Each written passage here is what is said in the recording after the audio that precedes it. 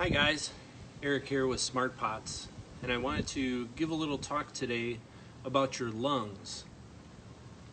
Not your lungs, but your plant's lungs, which would be their roots. Roots need oxygen for growth. If your plant's roots are sitting in stagnant water for an extended period of time, it will surely die.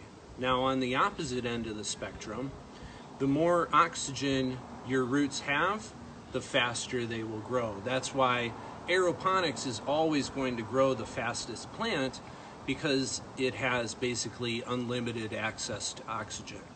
Now, if you're not growing aeroponically, you're growing with rock wool, coco, peat, or any other medium, you're going to need a container to hold that. And that could limit your roots access to oxygen. Now, with a rigid plastic container, your access to oxygen is the top layer of soil and maybe these drainage holes, but that's it. So your roots cannot breathe. No oxygen is getting in or out of this pot. Now with a smart pot, I've got this thing folded up three layers of cloth.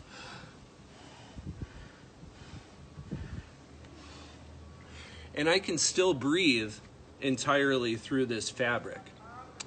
Meanwhile, none of the medium is going to leach out of there, so you don't have to worry about anything clogging up your drainage or uh, recirculating systems with a smart pot. So ultimately, your plant is going to have oxygen at the top layer of soil, the sides, and if you get it off of a flat surface, the, bo the bottom layer is also going to be uh, an area of oxygen exchange for your plant's roots.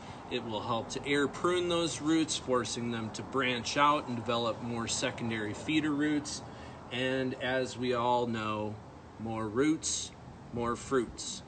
So I guess my question is, why would you grow in anything else?